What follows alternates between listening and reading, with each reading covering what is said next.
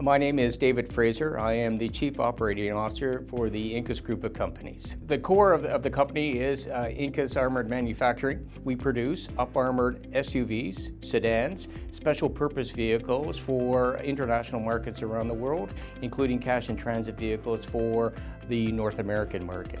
Our company is unique because it is Canadian.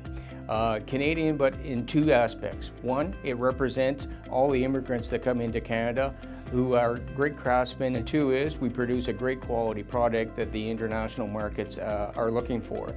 It, it, speaks to everything that INKAS does every day. We are all about excellence, excellence in producing quality products that are, are in demand around the world.